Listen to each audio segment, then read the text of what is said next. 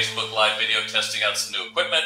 The video is amazing in HD, unlike anything I've seen on Facebook. Do you suggest we invest in equipment to enhance live video? So, you know, I use a Brio 4K uh, uh, video camera now on my uh, computer, and I also use a Rode uh, Podcaster uh, microphone. They're probably about 200 bucks each.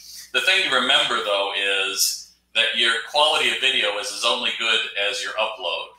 So uh, that's part of it. But also, unless you click the HD, uh, most people will see it in a lower resolution. And frankly, you get a better resolution on YouTube.